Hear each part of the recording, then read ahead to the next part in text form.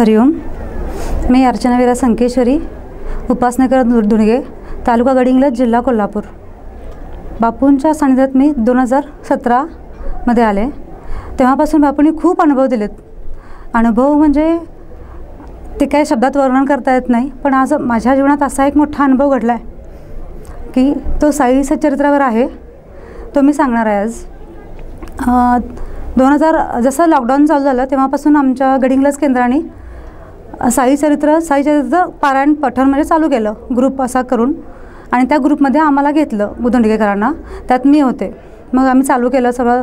परत सगळ्यांना पहिला एक पहिला एक पारायण पूर्ण झालं आमचं. परत दुसरं चालू केलं. आणि असा एक अनुभव आला की मला सा साई चरित्र अध्या साई सचरित्रामधला त्रेचाळीसावा अध्याय. ते तो अध्याय आला वाचायला मला. आणि त्याच वेळेस माझे बा बाबा आजारी होते. आणि मी मिरजेला त्यांना बघायला म्हणून गेलेले. मग पप्पा म्हणजे माझे बाबा सिरियस आहेत म्हणून मला काही मग कल्पना नव्हती. त्याच दिवशी आम्ही दत्तपावणीही चालू केलेली. बावन्न वेळा त्या दिवशी चालू केलेलं आम्ही. मग त्या दिवशी वाडीला दर्शन घेऊन वाडीत म्हणजे नमस्कार करून आम्ही हे कर खरं बाबा माझे सिरियस आहेत किंवा काही मला कल्पना नव्हती. तिथं जाऊन सकाळी आणि त्या दिवशी तीन अध्याय आले मला. मग त्या दिवशी सकाळी मिरजेला जायचं म्हणताना पप्पांना बघायला दोन अध्याय घरी वाचले मी आणि एक अध्याय तिथं वाचायचं असं ठरवलं. मग झालं सगळं हे केलं. तिथं गेलो आम्ही.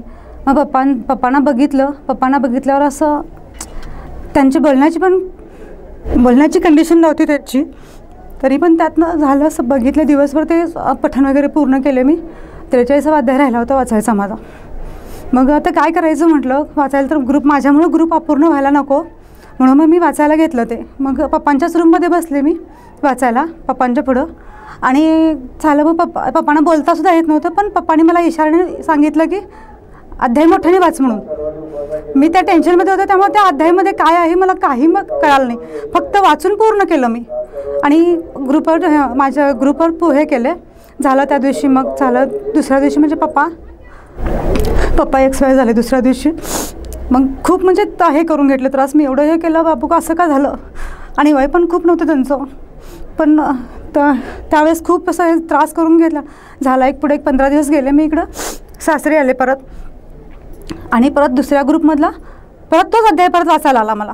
त्रेचाळीसावा अध्याय.